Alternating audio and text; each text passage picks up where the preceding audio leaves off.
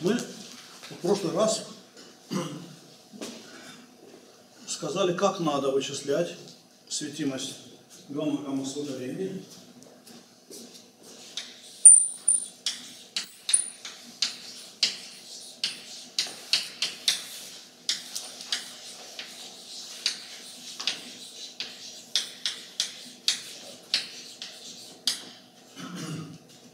Значит, речь идет о том, что а, мы ввели а, квадрат инвариантной массы сталкивающихся фотонов.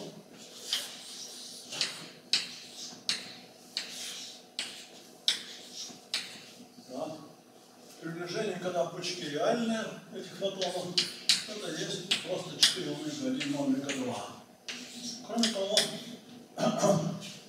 эти фотоны у нас произошли из соударения электронов и позитронов с энергией Е1 Л2 и квадрат их инвариантной массы такой. Затем мы сказали, что светимость гамма-гамма соударений отличается от светимости Е плюс Е минус соударений на число фотонов, испущенных первым лептоном и вторым лептоном. В конечном счете эти числа фотонов зависят от энергии и виртуальности фотонов. По виртуальности мы проинтегрировали. И э, дальше мы э, проинтегрировали по энергии одного из фотонов, считая инвариантную массу фиксированную. Так что в итоге у нас получилась некоторая, некоторая величина. Да, давайте я назову просто функцию f.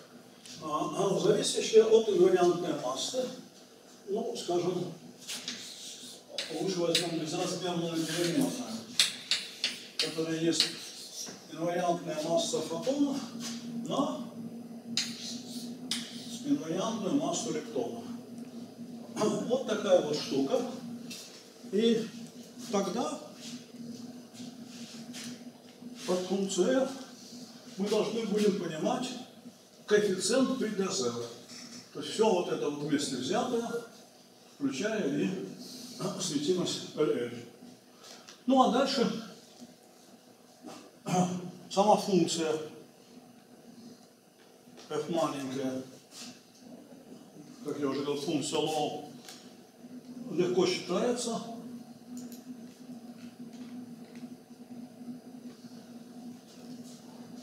Она выглядит вот так вот. И если взять дифференциальное распределение, то есть распределение светимости гамма-гамма по инвариантной массе, ну, фактически по безразмерной инвариантной массе, отнормированная на светимость. Исходную, то вот возникнет некоторая функция, названная буквой f1 от z. Если посмотреть на соответствующий график, видно, что эта функция может достигать величины порядка единицы в области небольших инвариантных масс. Но на больших инвариантных массах видно, что она составляет сотая или даже вот здесь вот тысячные доли от соответствующей энергии, соответствующей светимости Е плюс и минус ударения. Но может быть с точки зрения эксперимента вообще-то такое детальное распределение самое важное, но для грубой оценки интересно другое. Интересно вот эта вот величина, которую проинтегрировали от некоторого z-порогового, ну, например, до максимально большого значения, это когда энергия исходных фотонов совпадает с энергией излученных, излучающих их электронов. Эта величина будет зависеть как раз от z-порогового. Да? Ну и вот эта функция f2, как функция просто z-пороговая, если она обозначена буквой z, дана уже тысячных голях от светимости Е плюс Е минус в удалении. Ну, конкретный пример. Если мы возьмем, скажем, соударение для веба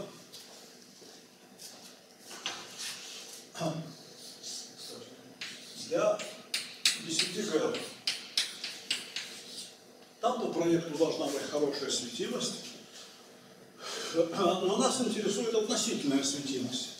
И, и возьмем, скажем, W равное 3 ГВ. Это очень неплохая, интересная область. Мы уже немножко вышли за резонанс в гамма-гамма соударениях. Там бывает много огромное события. Да, тогда соответствующее, значит, мы будем интегрировать по W вот от, от этого порога вплоть до S. Ну, при таком значении S и пороге наша Z будет 0,3. Итак, соберем фотоны в самой интересной области, где начинается что-то чуть-чуть дальше, чем резонансная область гамма-гамма соударения. И что мы видим? Вот значение 0,3 отвечает примерно полтора на 10 минус 3. То есть где-то на уровне чуть больше 3% осветимости Е плюс и минус с ударением. Ну, конечно, это печальный факт. Но не, не, я бы сказал, это правда, но тоже не вся. Потому что число событий определяется не только светимостью, а произведением светимости на соответствующее сечение. А сечением дело обстоит таким образом. Если я начну сравнивать рождение, вот, а, рождение агронов гамма-гамма соударениях, мы об этом будем немножко после говорить, то вот в этой области энергии больше 3 ГЭФ это величина на уровне 300 нанобард. Это просто экспериментальные данные. Так. И, что самое важное, с ростом энергии это сечение будет только подрастать. А вот что касается сечения процесса Е плюс и минус в адроны, то он, как вы знаете, падает квадратично с ростом энергии. И в этой области как раз, вот для корня z из 10, она представляет из себя всего-навсего 3,5 нанобарда. Так что сечение в 300 раз, нет, светимость гамма-гамма соударения оказалась примерно в 300 раз меньше, чем светимость Е плюс и минус соударений, но зато соответствующее гамма-гамма сечение оказалось почти в 100 раз больше, чем сечение Е плюс и минус соударений. А, Все это так, но только нужно сказать, а, что это тоже не полная правда. Если быть честным, то нужно сказать, что значительную долю от этих событий детектор будет улавливать, потому что в плюс и минус соударениях относительно широкое распределение продуктов, рождающихся в аннигиляции. А вот в том, что касается этого процесса, то все-таки в области все более высоких энергий они будут прижаты к оси соударения. И незначительная часть из того, что мы с вами насчитали, детектор не попадет. Так что мы пока что сосчитали соотношение для идеального детектора. Но это вот э, э, в нашей картинке. А вот э, когда речь шла про работающий даже в первой своей стадии ускоритель LEP-1, у которого суммарная энергия доходила до 100 ГЭФ, то там сечение гамма-гамма соударения, собранное от порогов достаточно большого, в 5 ГЭФ, да, составляло э, уже величину, смотрите, это светимость, на, на уровне приближающейся проекта светимости Е плюс и минус уверения на ЛЭП. А осечение дронной реакции э, э, с, в аннигиляционном канале падало. И по сравнению с тем, что здесь, оно должно было упасть в 100 раз. Так что там а, превосходство гамма-гамма канала, опять-таки для идеального детектора, становится очень существенным. Настолько существенное, что только когда мы попадаем на Z-резонанс, который над общей подложкой возвышается примерно на два порядка, да, это такой некий подарок природы для экспериментаторов, число адронных событий в Z-пике сравнивается с числом адронных событий вот в этом случае для идеального детектора. Э, это показывает, что гамма-гамма самоударения действительно существенны в области высоких энергий. Ну, следующий раздел. Пока что мы говорили с вами о глобальном числе событий. А вот э, существенный вопрос, особенно для детекторщиков, как эти события распределены. Что касается аннигиляционных событий, то вы еще изучали еще в прошлом семестре, то что вам достаточно широкое распределение событий Е плюс минус квадратный. А как обстоят дела с двухфотонными событиями на Е плюс минус ускорителях? Давайте для начала рассмотрим общую картинку распределения по суммарному четырехимпульсу.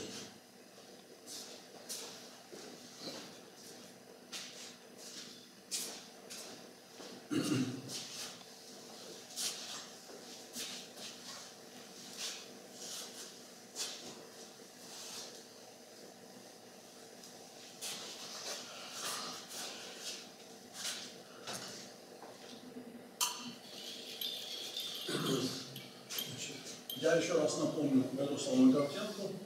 Сотворяется один лептон с энергией Е1, импульсом Q1, рассеивается, и получается лептон с меньшей энергией и импульсом, переключенным под некоторым углом. И спускается фотон с энергией омега-1 трех импульсов Q1 и то же самое для второго лептона.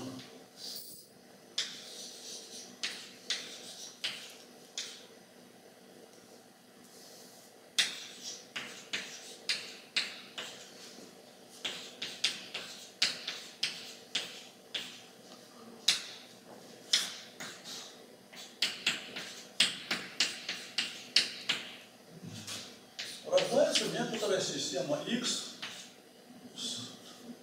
импульсами конечными и конечной энергией какой-то. Так. Что мы знаем?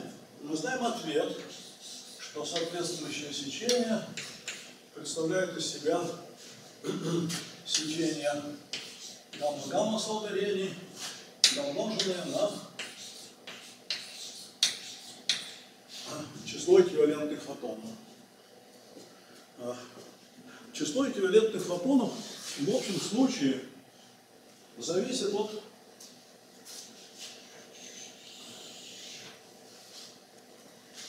три импульса рассеянного электрона. Но мы с вами договаривались, что нам интереснее будет переформулировать все это от, а, а, а, через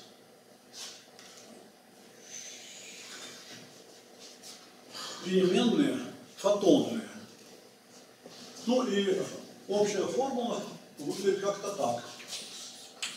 dn1 есть альфа на π, омега на омега, если у первого фотона. Дальше ходила dq квадрат на q квадрат, это виртуальность фотона. И еще, вообще говоря, входил угол рассеяния азимутально этого фотона на 2π, от которого мы часто, по которому мы часто интегрировали, поскольку от него зависимость пропадала. И дальше шла некоторый а, набор слагаемых, фактически близких к единице. То есть там стояла единица, минус омега-1 e1, плюс омега-1 в квадрате на 2e1 квадрате, плюс еще какая-то маленькая добавка, которую мы пока что даже вообще не будем учитывать.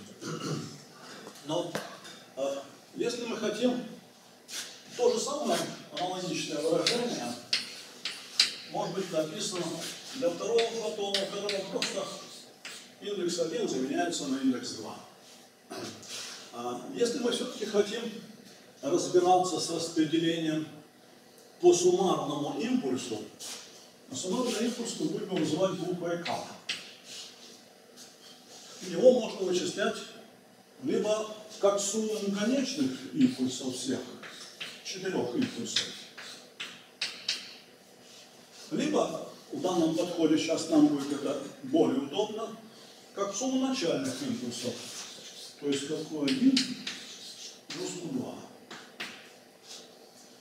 А если я этот четырех импульс запишу в компонентах,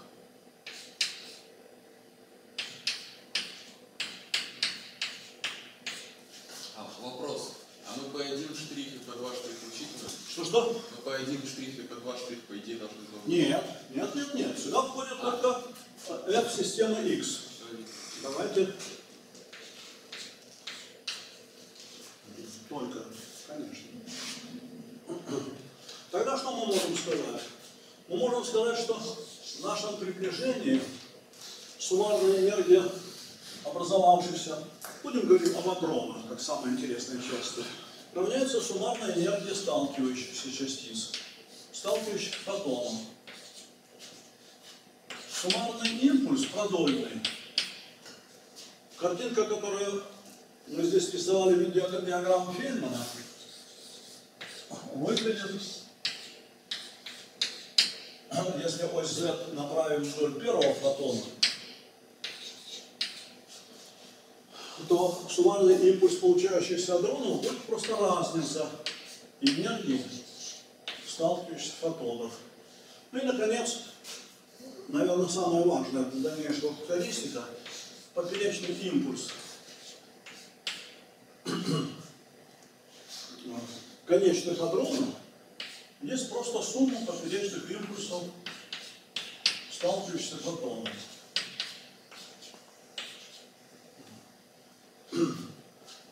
Мы сейчас попробуем все это сосчитать, устроить соответствующее распределение, но, но заранее можем сказать, с чем мы столкнемся.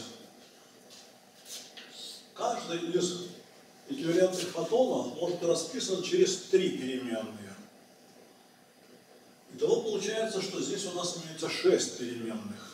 В системе центра массы какие-то из них получаются зависимыми. Что-что? В системе центра масс же какие-то из них будут Нет, зависимыми. зачем? Мы хотим все это рисовать в реальной системе, это гораздо интереснее. В системе, где может быть центр масс, сталкивающийся электроном и позитроном, но совсем не центр масс, сталкивающийся фотоном. Единственное, чего в нашем приближении, где фотоны почти реальные, у них мы заранее считаем, что Q1 поперечный, Q2 поперечный очень маленькие. Поскольку они почти реальные, то они летят почти навстречу друг другу. То есть мы можем договориться, что вот эти переменные небольшие, поэтому и эта переменная будет тоже небольшой. Суммарный поперечный импульс. Я попробую потом подтвердить это вычислением, что это так. Более того, именно это распределение по поперечному импульсу является очень характерным чертой, которая отличает двухфотонные события от аннигиляции в Е плюс и минус. Так, хорошо. Итак, у нас здесь будет 6 переменных. А мы хотим все это выразить как нечто пропорциональное компонентам четырех импульсов рожденной системы. Значит, волей-неволей нам придется по паре переменных провести интегрирование. И вот это интегрирование удобно проводить, введя не виртуальности фотонов, а вводя их поперечные импульсы. Мы уже с вами это делали, и сводится это вот к чему. Вот вместо этой картинки здесь возникает D2 Q1 поперечная, деленная на Q1 поперечная в квадрате, плюс масса электрона, чрезвычайно важная величина ввиду своей малости. Омега-1 на Е1 в квадрате. Омега-1 на Е величина меньше единицы, поэтому в этих скобочках стоит даже величина не просто маленькая, а еще и может быть сильно меньше, чем масса электрона, да еще в квадрате. Так что видно, что это распределение, смотрите, как выглядит, доходит до очень малых величин, и в этой области это число может быть громадным. Но мы его интегрируем, а интеграл у нас логарифмический, и вся эта громадность смазывается. Хорошо, записали таким образом. Итак, у нас получилось раз, два, три, и фотовом шесть. Надо что-то исключать. Да, я еще забыл сказать, что при таком переходе вот здесь вот возникнет вместо π пи квадрат. Так, значит, фактически нам нужно провести интегрирование какого объекта? Сейчас сообразим. А, так, у нас будет вот это сечение. D сигма пропорциональное чему? d омега 1 на омега 1 до омега 2 на омега 2 d2 q1 поперечная на q1 поперечная в квадрате плюс масса электрона омега-1 на Е1 в квадрате.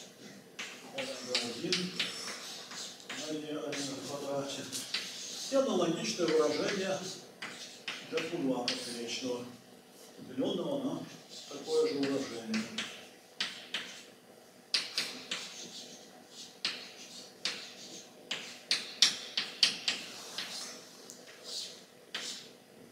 Так, а, извините. Вот это все в квадрате. Вот нам придется интегрировать такую штуку. Причем нам хотелось бы оставить, нам хотелось бы оставить четыре переменных, связанных с полным четырехимпульсом. Но делать это на самом деле достаточно просто. По той причине, что омега-1, омега-2 спокойно трансформируются в эпсилон и z Так что вот вся эта величина у нас как-то там трансформируется в эпсилон дкз.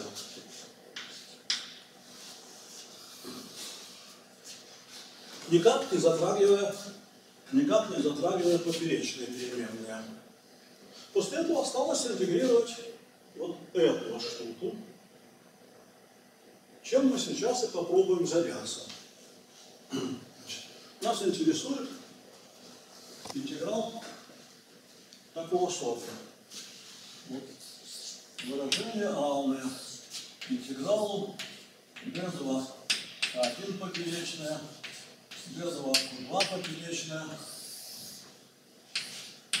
Здесь ходит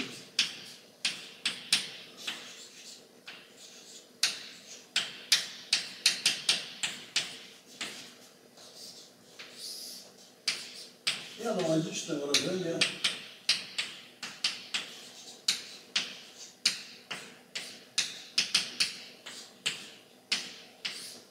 Входящие здесь омеги будут выражены из этого соотношения через эпсилон и кз, и в этом смысле окажутся фиксированными. А что мы отсюда должны получить? Мы должны отсюда выделить зависимость от оставшегося объекта. Значит, если бы я расписывал, то я бы его расписал как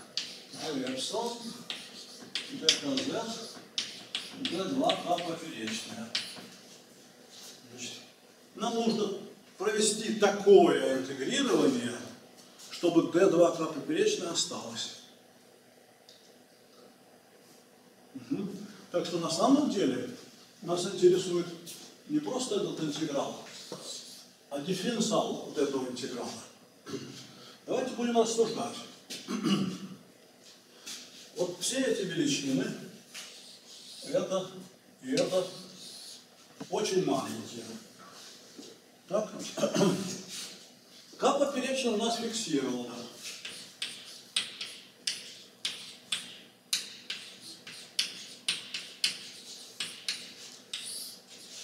Потому что оно должно остаться в конце. Так. Но при фиксированном К поперечном мы еще должны сказать, какого оно порядка. Обычно все-таки интересуется вопросом, когда это К поперечное большое. Скажем, много больше, чем масса электрона в квадрате. Любое добавка, которая тоже меньше единицы. А вот в этих условиях все же становится относительно просто. Ну, во-первых, можно точно проинтегрировать эту функцию, но этот точный интеграл будет немножко громоздкий, не очень... Потом его все равно придется упрощать, требуя того, чтобы то поперечное было большое. А с другой стороны, давайте посмотрим. Здесь очень четко прослеживается следующая вещь. Если хотя бы К1 или К2 станет больше, чем К поперечная, представим себе, что Q1 поперечная будет много больше, чем К поперечная. Что при этом будет? Здесь будет единица на, на Q1 поперечная в квадрате. Это я вообще могу выбросить тогда. Но дело в том, что и здесь будет столько же. Ведь у нас же есть связь.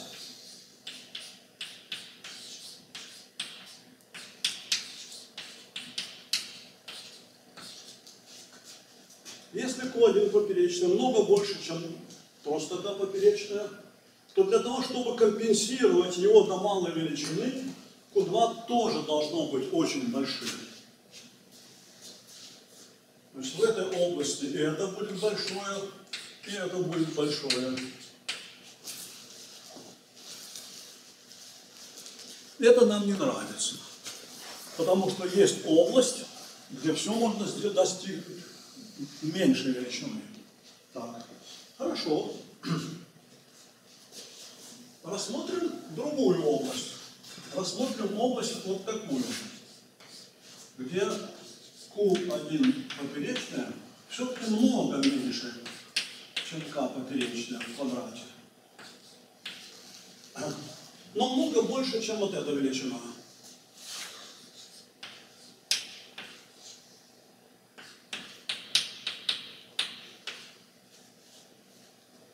Что мы тогда получим из этой области? Какой вклад? Получим мы следующее. Поскольку Q1 мало, то отсюда сразу следует, что это можно выбросить. Q2 поперечная станет примерно равным К поперечная. К поперечная велико. Это выбросим. Таким образом отсюда выскочит единица на К поперечная в квадрате. А в предыдущей области сколько было? А в предыдущей области было гораздо меньше. Что останется после этого? А после этого останется вот эта вот величина. Да?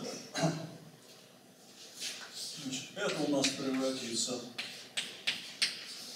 Так. А по этой штуке мы будем интегрировать. Причем интегрировать в каких пределах? От этого начального до примерно этого конечного.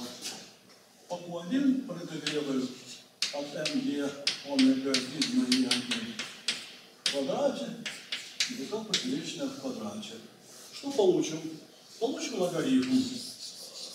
Логарифм вверху стоит К поперечная в квадрате, внизу стоит МЕ, омега-1 в квадрате, на Е1 в квадрате.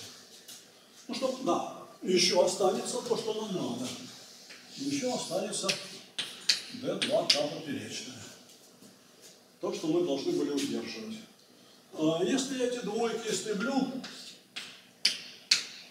и вынесу их просто в виде множителя, то вот такой получится ответ из этой области.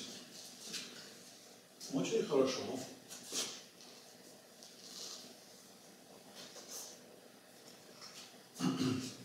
Так. Ну, совершенно ясно, что если симметричная область, там, где кугла поперечная, много меньше К поперечная в. Но в этой области наоборот. Вот в этой области что остается? В этой области Q1 перейдет К поперечная. Так? D2 Q1 перейдет в D2 К поперечная. А по Q2 мы проинтегрируем по вот этой самой области.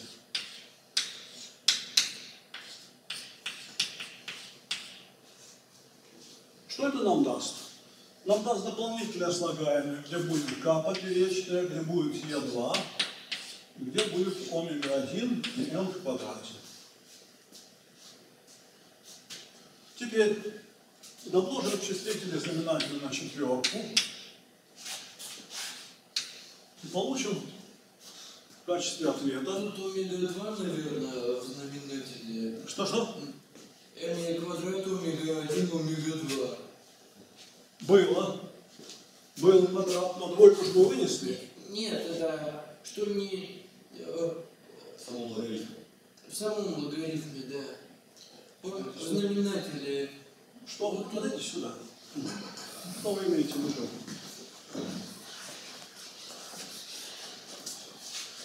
Вот здесь же должно быть омега-2, наверное. Здесь было...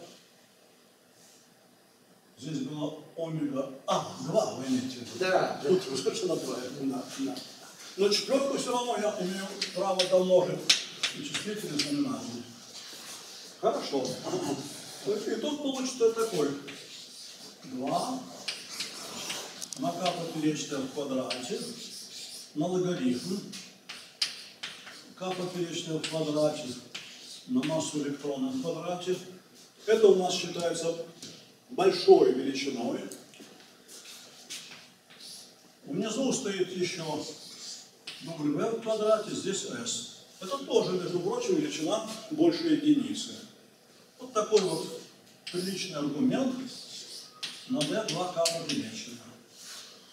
Что я здесь немножечко э, расхитрил, так это то, что э, когда мы проводили вот это интегрирование, давайте вот чуть-чуть подробнее посмотрим. Значит, был интеграл dv2q1 поперечная на q1 поперечная в квадрате плюс вот эта самая добавочка. Так. Брали мы это все в пределах вот этой минимальной добавочки.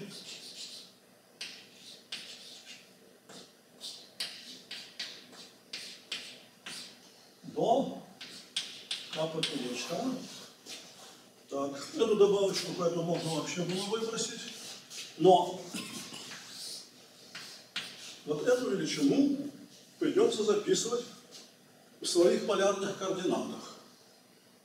Ну и в полярных координатах это будет Q1 поперечная на D Q1 поперечная на D φ1. Понятно, да? Преобразуем дальше. Q1 на DQ1 это 1 вторая на DQ1 поперечная в квадрате. Именно эта величина дает мне логарифм. Но есть еще дефи. От него в данном случае ничего не зависит. Интеграл по нему даст 2π. Так что по сравнению с тем, что мы все сосчитали, каждый раз войдет еще лишний множитель π. Ну вот, собственно, мы и завершили. Теперь я могу записать окончательный ответ. Давайте я его окончательно запишу. Будет выглядеть вот так. Так, все это я могу стереть.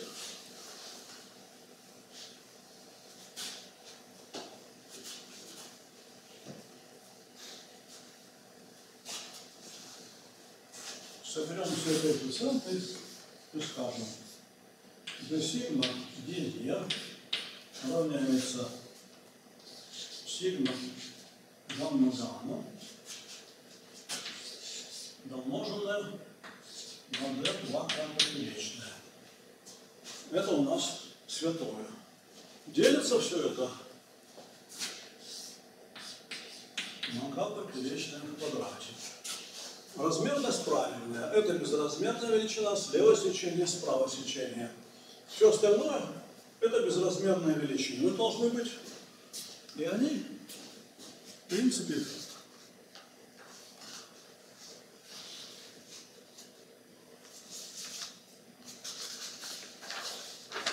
выглядит вот как. Вот та самая двоечка заработает. Альфа в квадрате на в квадрате единица минус омега-1 на Е1 плюс омега-1 в квадрате. На 2 Е1 в квадрате. Такое же выражение. За единицу заменяется на двойку. Дальше. D омега-1 на омега-1, d омега-2 новыми божества, которые трансформируются в Дэпсалм Казах. И логарифм, очень даже серьезный логарифм. Перпендикулярная на S, масса электронов в квадрате, на G в квадрате. Вот такой вот окончательный ответ.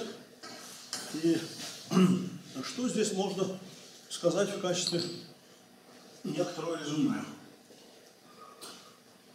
Вот эти два сомножителя, вот этот и этот, целиком определяют зависимость течения от поперечного импульса. Ну и как выглядит эта зависимость? А выглядит она примерно так.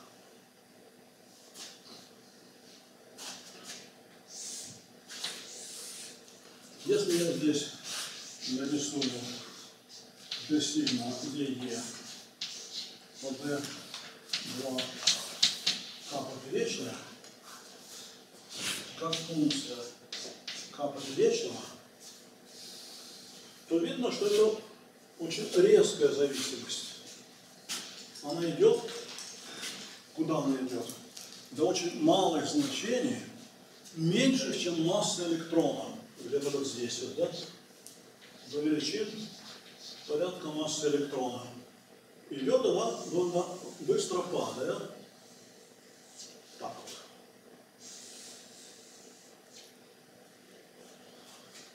Вот ничего подобного в вентиляционном канале нет.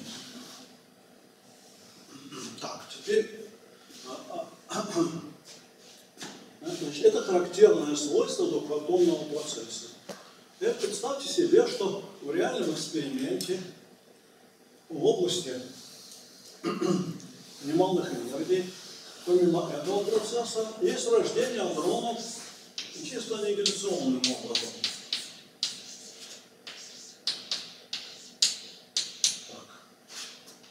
А в конце стоит детектор, который отлавливает, что отлавливает? Частицы, летящие не под слишком малым углом к оси соударения. И когда вот это сечение падает, падает, падает, и дальше должно было быть еще меньше, эта подложка может вылезти, и тогда в эксперименте наблюдается такая картинка. Данные идут так-так, а потом начинают существенно отличаться от этого. В условиях, когда электроны и позитроны не отлавливают, а отлавливают только рожденные адроны, сказать, что это процесс двухфотонный или аннигиляционный, очень затруднительно. Но одна из уловок, к которой прибегают экспериментаторы, заключается в следующем. Вот они рисуют реальное распределение, накладывают на него предполагаемое с некоторой подвижкой двухфотонное распределение. И там, где картинка начинает отличаться от этого, ставят границу и говорят, вот это мы будем называть двухфотонное событие, а дальше вся остальная смесь. Для этого набора событий мы будем разыгрывать по тем или иным моделям все, что связано с двухфотонщиной, и сравнивать с экспериментом. В принципе, это хороший способ, который достаточно надежно работал в самых первых экспериментах, начиная с больших машин типа там Дорис или Спир и так далее. Так что знание этого распределения просто помогало выделять этот канал. Конечно, лучше всего и проще всего выделение было бы, если бы мы отлавливали оба электрона, тогда бы мы все знали про каждый из фотонов, правильно? Да. Но это, как правило, задача тяжелая. Хотя она тоже делается. Ну вот, все, что связано с рождением, с распределением порожденной системы, по четырехимпульсу полной рожденной системы, ну, закодировано в этих вот относительно простых зависимостях. Ну все, давайте сейчас как раз сделаем перерыв. Теперь рассмотрим следующую картинку. Она окажется важной в тех случаях, когда придется а, рассматривать рождение небольшого числа адронов. Ну вот, скажем,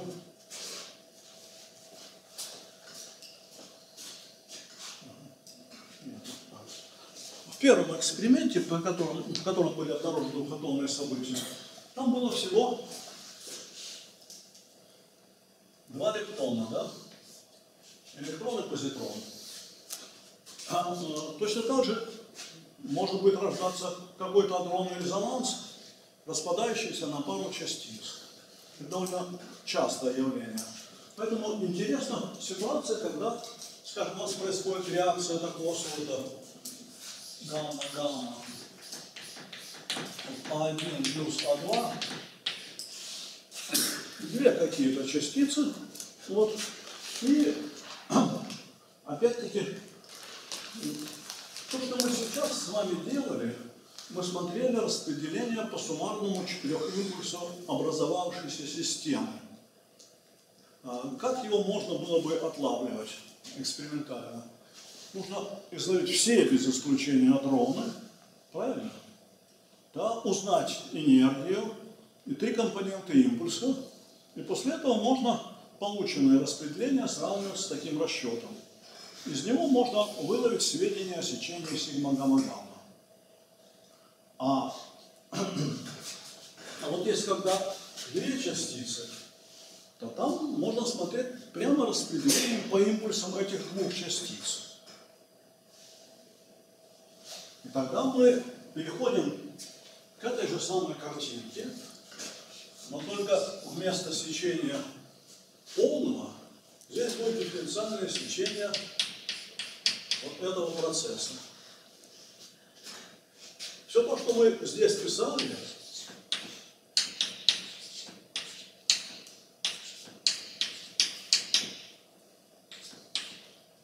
сохранится как по отношению к первому фотону, так по отношению ко второму фотону, поэтому я могу здесь написать общий индекс И.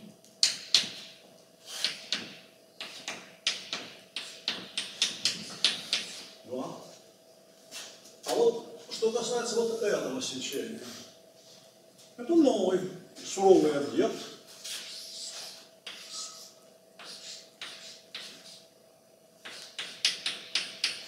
Да. Который должен как выглядеть? Ну, будет какой-то матричный элемент в квадрате, на что-то там домноженный, да? И, и, и фазовый объем. Вот этот фазовый объем, давайте я его подробненько выпишу. Значит, это будет фазовый объем системы X, деленный, естественно, на что? На э, на очень природный инвариант Мюллера, который в нашем случае будет просто Q1 на Q2. Хорошо. Кто такой Т? Т это квадрат матричного элемента. Но у меня ведь сталкиваются фотоны со спиральностью А и со спиральностью Б. Реальные фотоны. Поэтому квадрат матричного элемента должен выглядеть так. МАБ умноженное на сопряженный матричный элемент, ну как там какие-то другие спиральности CD. Все это умножается на матрицу плотности. Это же у меня реальные фотоны, матрицу плотности первого фотона, значит, это будут индексы АС, на матрицу плотности второго фотона с индексами БД. И стало быть, все это должно посуммировано быть по А, Б, С и Д, которые пробегают только два значения, соответствующие реальным фотонам, плюс и минус единицы. Вот такое выражение. Так, хорошо. Теперь еще вопрос, а кто такой гамма x?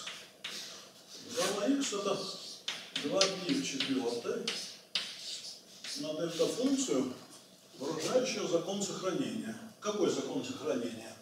О том, что начальная сумма импульсов равняется конечной сумме всех импульсов и системы А1, А2 и рассеянных электронов.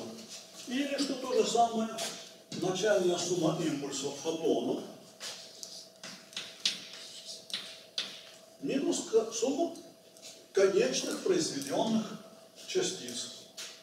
Давайте их будем называть, соответственно, К1 и К2.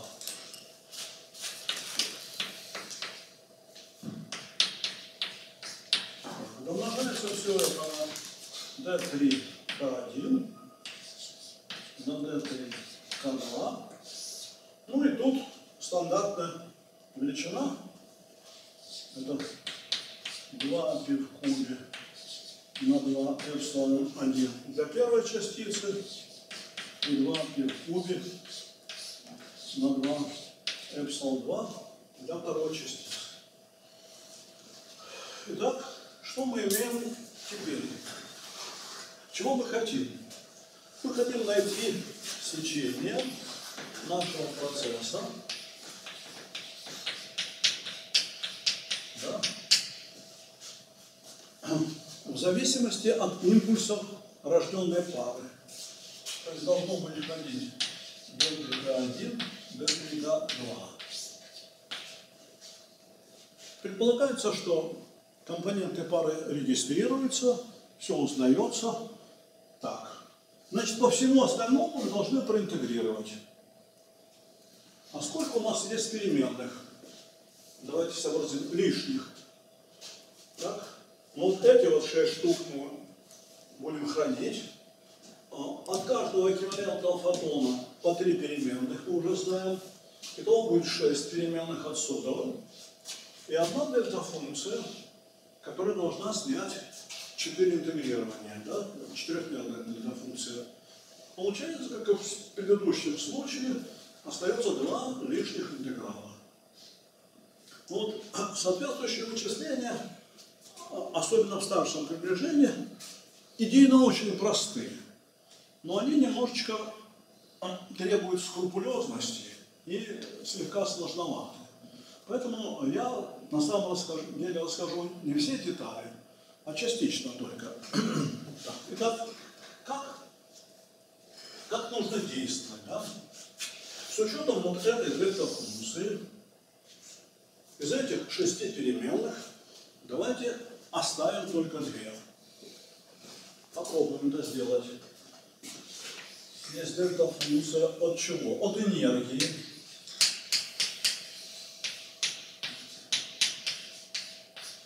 Есть дельта-функция от продольного импульса.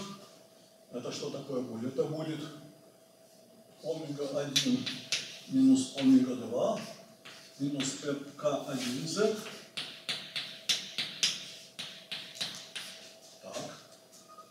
И дельта-функция, выражающая сохранение поперечных компонентов. Это будет Q1 поперечная плюс Q2 поперечная минус К1 поперечная минус К2 поперечная. Все это домножается на что? На то, что вытекает из наших а, виолетных фотонов.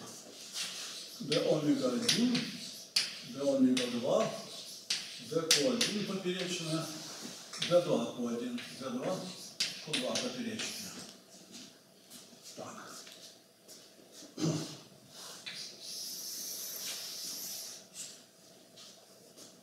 Эту дельта-функцию легко вычислить. Вот эти две дельта-функции снимут два этих интегрирования.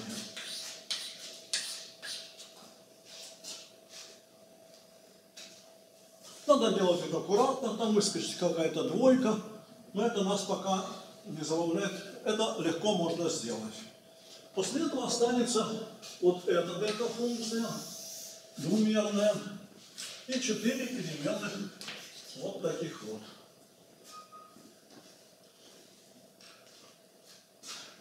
А кроме того, а кроме того остаются те же самые множители, которые были раньше. Так что фактически мы приходим к картине примерно той же самой, что было раньше. То есть тоже будут те же самые две области интегрирования. Интегрирование даст нам чистые логарифмы. А в чем, однако, будет нетривиальность? Нетривиальность будет в том, что вот этот объект внутри себя содержит зависимость ну, вот, от азимутальных углов. Для расчета этого объекта надо будет снова рассчитать там токи перехода, вот эти вот, и тензоры переходные. Для случая не обязательно диагональных элементов. То есть мы с вами смотрели только элементы типа, помните, йод минус плюс, йод минус минус. Теперь придется рассчитать еще такой элемент, плюс-минус и минус-плюс. Принципиально ничего не, как говорится, сложного нет, но просто это требует некоторой аккуратности и а, там, вдумчивой работы. Я представлю только итог того, что. А получается вот такая вот штука.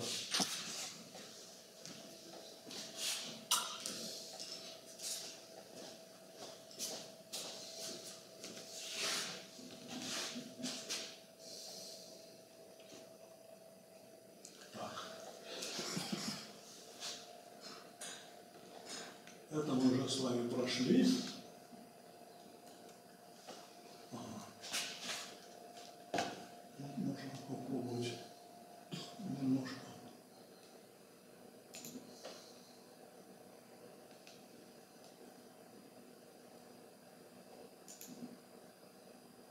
Нет, Это слишком много, да?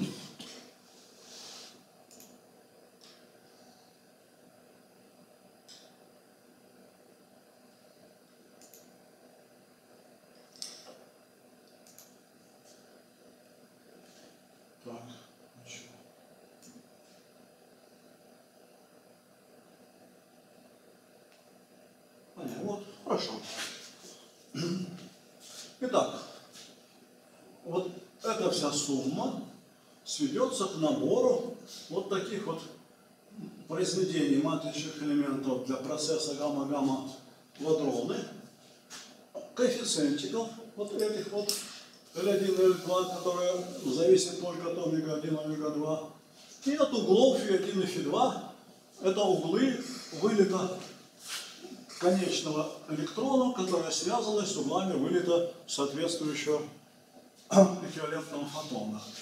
И вот здесь придется аккуратно интегрировать еще и по углам.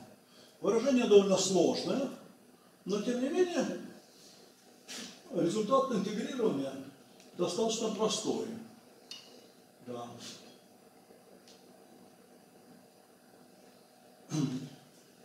Это то, что мы с вами получили. Так, да? Выражение, которое у нас есть.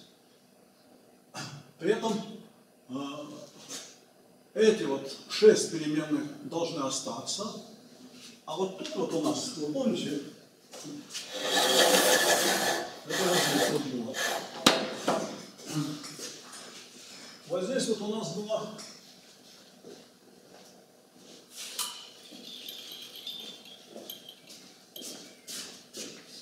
двумерная дельта-функция и четыре переменных. Можно, например, по Т2 поперечное проинтегрировать. И тогда от этого и этого останется просто Z2 по 1 поперечное. Исчезнет это и это в качестве набора переменных. Вот это и зафиксировано.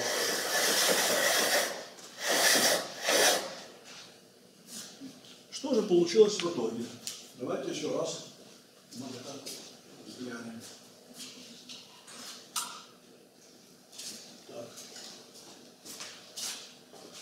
Это то, что будет улавливаться детектором. Это множители, которые нам хорошо известны. X – это а, омега, деленное на e. Это вот множители, которые стоят в знаменателях, там они всегда были. И осталось проинтегрировать это выражение. Интегрировать мы его будем точно так же, как в прошлом случае. Проблема в том, что в прошлом случае мы считали, что суммарный k поперечный фиксирован. В условиях, когда k1 и k2 фиксированы, суммарный k поперечный тоже фиксирован. Поэтому ответ будет содержать те же самые большие логарифмы, что и раньше. Только раньше эти логарифмы складывались в сумму, а теперь не обязательно. Вот тот же самый логарифм, который мы получали в прошлый раз, он в некоторых случаях фигурирует, а в некоторых входит сумма. Получается вот такой вот ответ. L это степень линейной поляризации, близкая к единице для малых иксов. И, и кроме того еще войдет угол. Вот этот вот угол, это угол между суммой и разностью поперечных импульсов конечных частиц. И э, это очень важная характеристика. Конечно, как и в предыдущем случае, возникла единица на k поперечная. В предыдущем случае у нас была сумма этих логарифмов. А теперь еще возникла отдельная слагаемая, содержащая L2 или L1.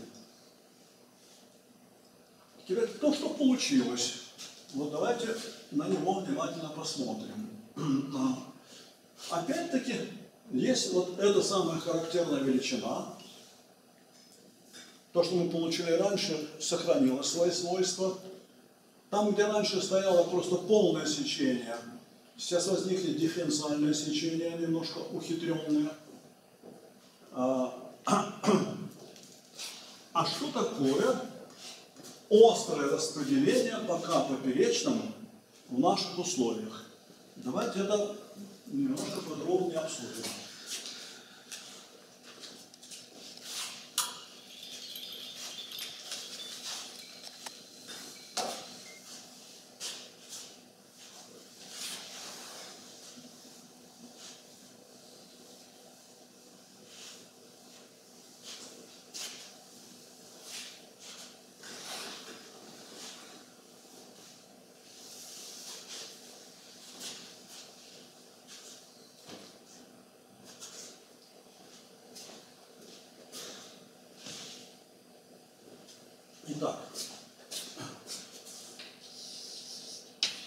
ju så att.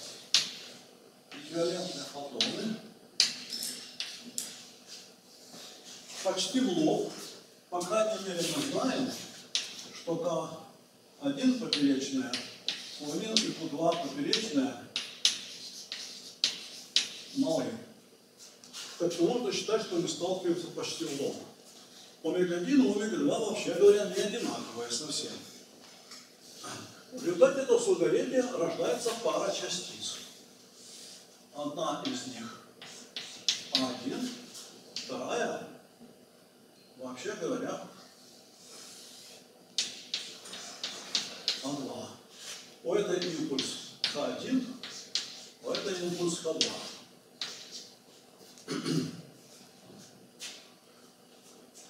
Что мы знаем про импульсы этих частиц? Здесь речь идет о рождении адронов, да, то поперечные импульсы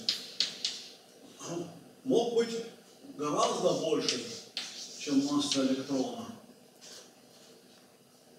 Типичный поперечный импульс в рождении пионов, например, это все-таки величины порядка сотен мэм. То есть порядка масс пиона, долей масс пиона, может быть, 2-3 массы пиона. Это очень большая величина. А соударяющиеся фотоны имеют каждый в отдельности малый поперечный импульс. Но это означает, что и сумма их, когда мы складываем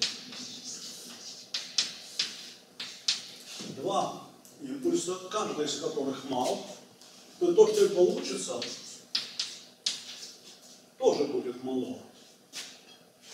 С другой стороны, все это равняется конечным суммарным поперечным импульсом.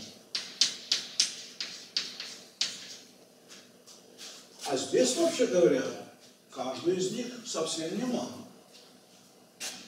Что это означает? Это означает, что они должны быть почти антипараллельны.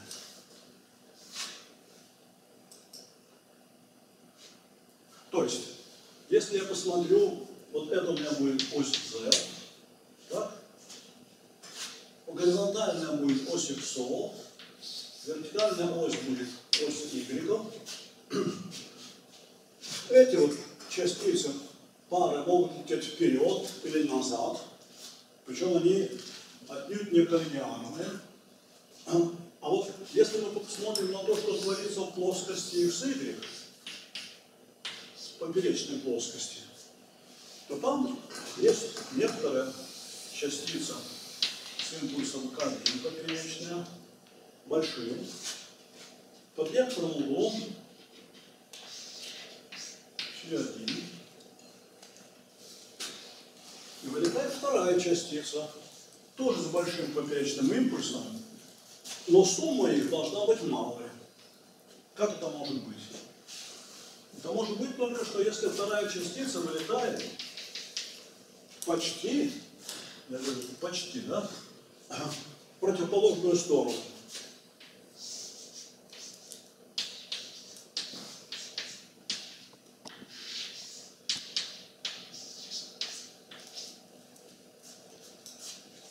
Но это означает, что разница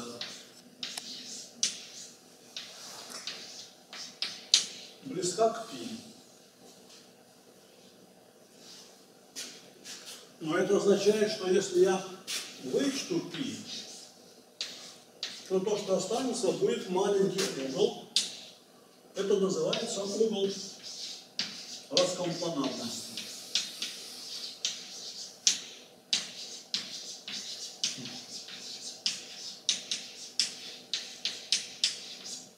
Так. То есть картинка, которая при этом возникает, получается следующая. Да. Они совсем не коллинеарны, но почти компланарны. То есть плоскость, в которой лежит, скажем, исходный электрон, то, что мы фиксируем, и конечная частица А1, скажем, это будет плоскость доски, и плоскость, в которой лежит начальный позитрон и импульс К2, эта плоскость почти от плоскости доски не отличается. Вот они, а эти плоскости, между этими плоскостями очень маленький угол пси. Но если это так, то до распределения по углу пси должно быть некоторым признаком двухфотонного рождения пары. А раз это так, то его можно использовать для идентификации этого процесса. Мы потом немножко дальше покажем, как это можно считать, а я сейчас хочу сначала сказать, почему это стоит считать. Что это вещь полезная. Да? Полезная, но вот почему. Когда в начале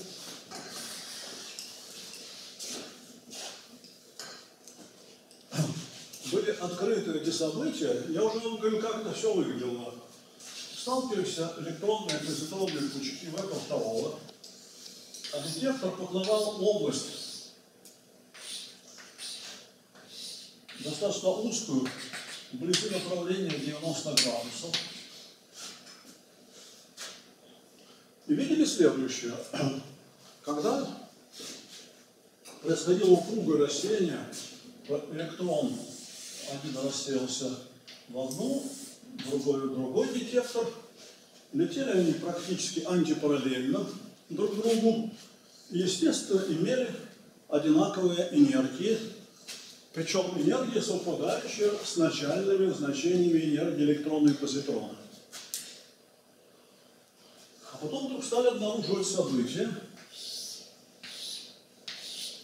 в которых, да, в которых здесь обнаруживались, и здесь обнаруживались следы со значительно меньшей энергией. Дело осложнялось еще и тем, что на первых этапах вообще они не различали экспериментаторы тогдашние из-за плохих детекторов, кто это, электрон или фотон. Треков не было? Да, на, на- в самом начале работы ВП второго. Да. Он еще был ЕМ. А, а откуда могли появиться эти вот частицы? Ну, разнообразные догадки и критерии привели в конце концов к тому, что происходит следующее. Помимо вот этих частиц, которые могут уходить в трубу, да, испускаются фотоны, рождается пара, и эта пара попадает в детекторы. Ну и, конечно, энергия этой пары, как мы знаем, должна быть существенно меньше, чем энергия первоначальных частиц. А что еще у них характерного? А вот мы догадываемся, что еще характерно у них может быть это раскомпланарность. То есть резкое распределение по вот этому самому углу пси.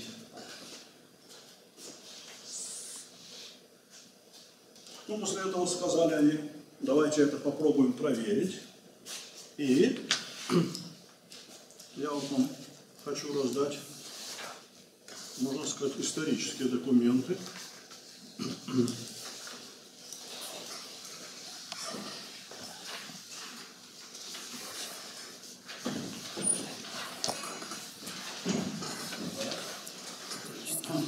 Это расчет, произведенный Байлом и в начале этого процесса. И он касается случая, когда вот эти дополнительные электронные позитроны вылетают почти под 90 градусов по углу тета, а как они распределены по углу раскомпланарности. Вот это и есть угол раскомпланарности. Видно, что очень резкое распределение, шкала логарифмическая. Да. Это было одним из характерных признаков того, что рождается не плюс и минус пара двухфотонным образом. То раскомпланарность маленькая. Ну, пиковая. Да, Ну да. энергия маленькая, но, но Два порядка.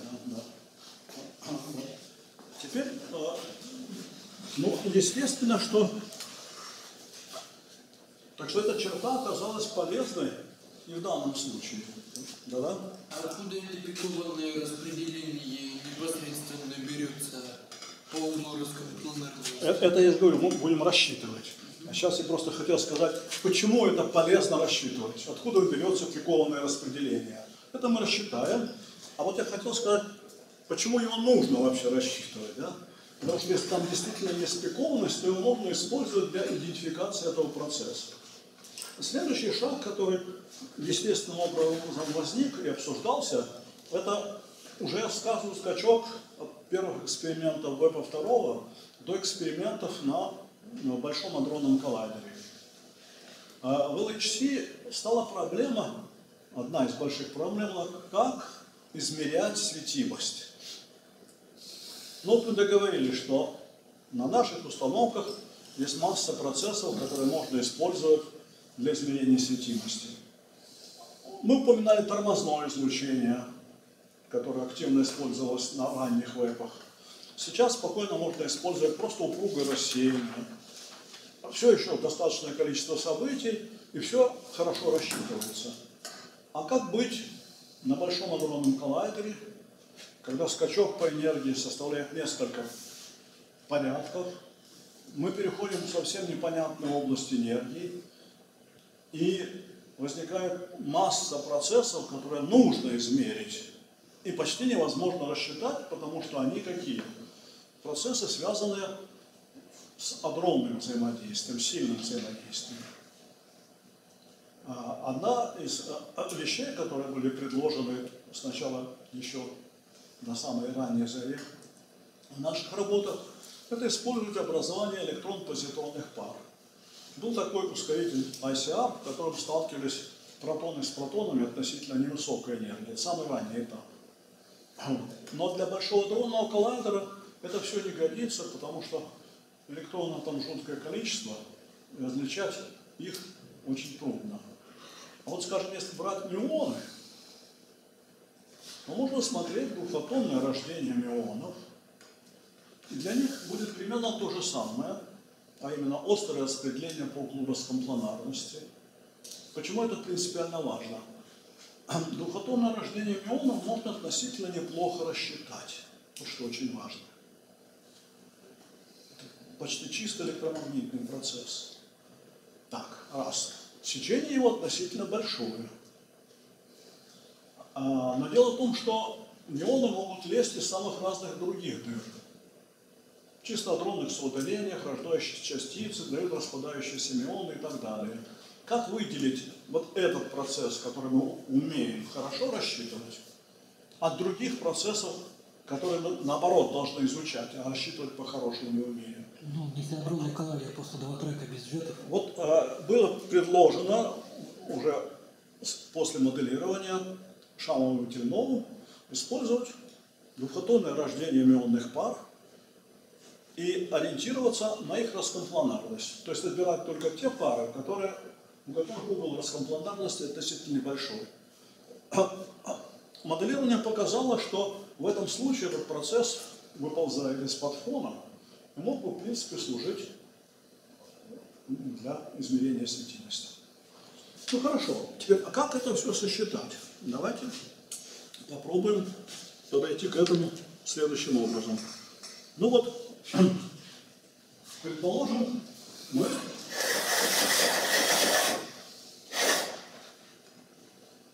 действуем точно так, как в предыдущем случае. Да? Ведь фактически у нас тот же самый интеграл рассчитали. Дальше мы будем проводить выделение вот этой самой раскомпланарной зависимости. А, После этого все эти вот косины, которые здесь встречаются, становятся не очень интересными, при усреднении они исчезнут. А главное, что у нас есть, это есть единица нога поперечная и соответствующие логарифмы. Так, и есть что? Есть вот шесть переменных. Давайте немножко подробнее изучим, что же это за переменные.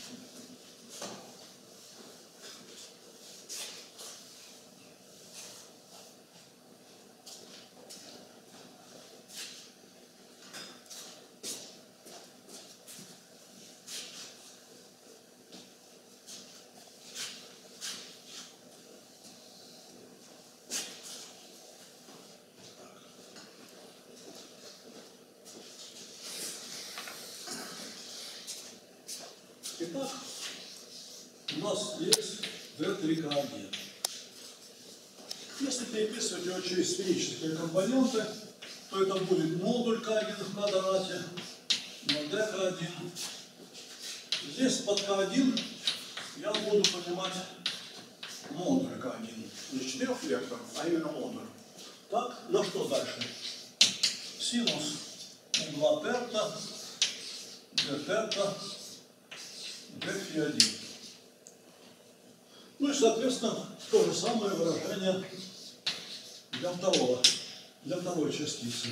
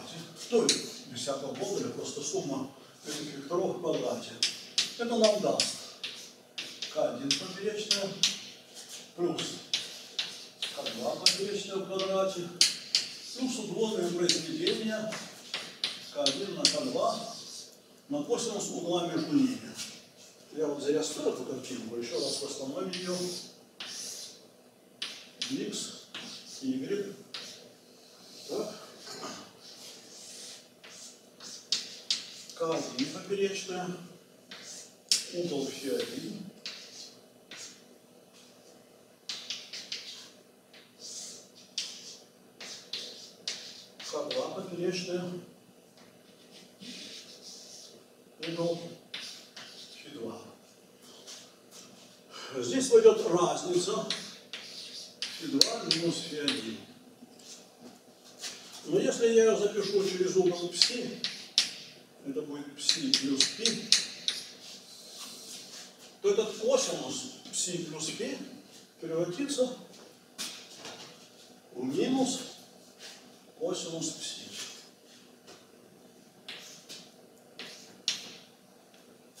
Замечательно. Я уже говорю, что для того, чтобы К поперечный был мал, когда в отдельности они большие, что нужно? Нужно, чтобы эти векторы были почти одинаковы по длине и с малым углом пси. Вот это вот, это вот есть угол пси, да? Но если у них длины примерно одинаковые, тогда отличие К1 поперечного от К2 поперечного должно быть мало по сравнению с самим модулем К1 поперечного. Вот эта величина должна быть мала. Она безразмерная и малая величина. Обзовем ее, например, буквой У. Итак, У по модулю много меньше единицы. Но заметьте, она может быть и положительной, и отрицательной. Потому что модуль первого может быть больше модуля второго или одинаковый. Отсюда я могу сразу узнать, что чему равняется К2 поперечная. К2 поперечная будет равняться К1 поперечная минус К1 поперечная на У, то есть К1 поперечная на единицу минус У. Прекрасно. Тогда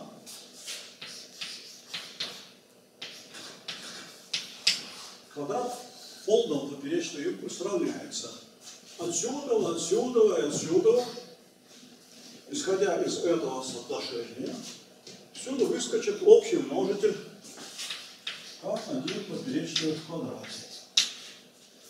Что останется? Отсюда останется единица, отсюда останется единица минус у в квадрате, отсюда останется минус 2 у на косинус пси.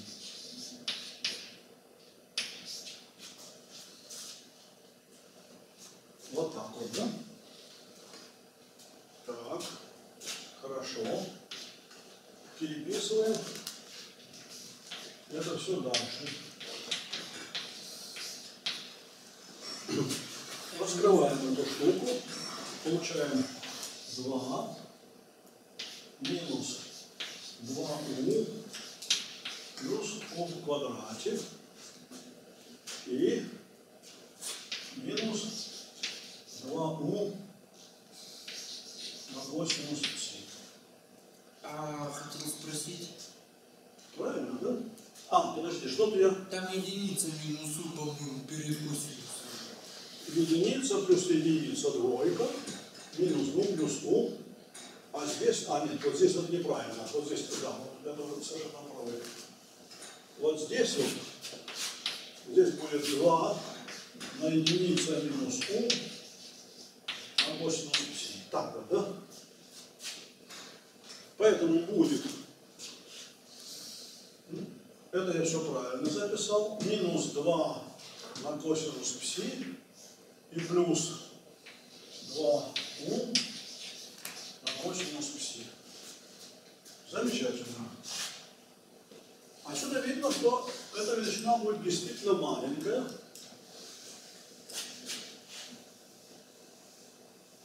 Что она содержит? Во-первых, она содержит двоечки, не сократятся, большие слагаемые. Останется маленькая величина у в квадрате и маленькая величина 2u на, на что тут? Что-то у меня со знаками нехорошо, а нехорошо со знаками почему? Там же не двоечки, там двоечка и два косинус пси. Минус, здесь плюс, все правильно.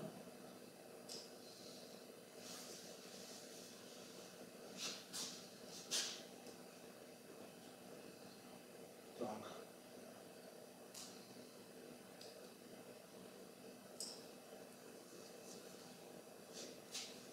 А, ну да. Сейчас, сейчас, сейчас, сейчас. Ньютон сократилось.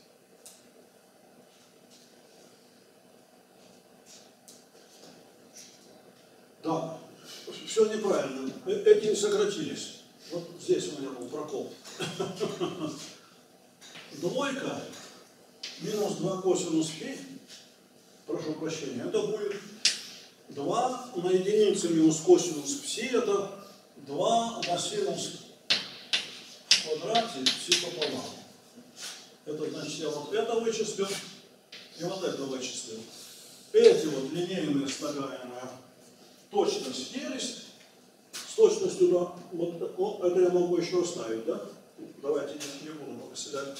Затем напишу плюс у в квадрате и минус 2 у так, на единица минус косинус пси. Так. Но единица минус косинус пси это будет удвоенный синус в квадрате си пополам. Это будет уже величина третьего порядка малости. У мало, пси мало, выбросили его. Вот осталась такая величина. А, и общий множитель, забытый нами, Тогда и у квадрата двоечки. да. Это у лучше только второго. Все. Если мы хотим узнать зависимость от пси, а что? За- Это осваиваем, все. Если нам, мы хотим узнать зависимость от так, то мы вспомним. У нас была единица на поперечная в квадрате. От него останется u в квадрате плюс 4 синус в квадрате все пополам. Осталось. Кроме того, у нас было вот это два переменных. Из них бета-2 согласно соотношению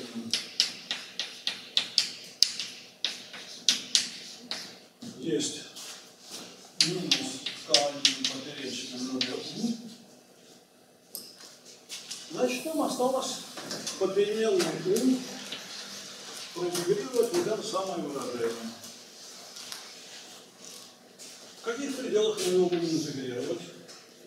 Интеграл очень хорошо сходится, поэтому мы его будем интегрировать от минус до плюс бесконечности. Это нам даст арктангенс. У деленного на 2 синус пси пополам по модулю. И здесь единица на 2 синус пси пополам по модулю. Арктангенс мы должны брать в пределах плюс бесконечности. И получили вот такую штуку. Пи, деленная на 2 на синус пси пополам.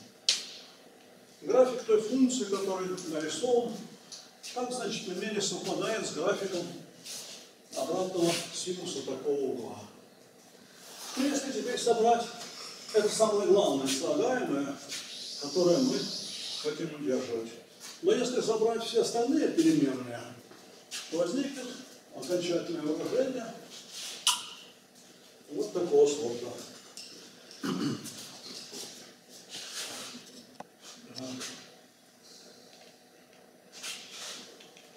Вот берем эту самую переменную u, проинтегрируем.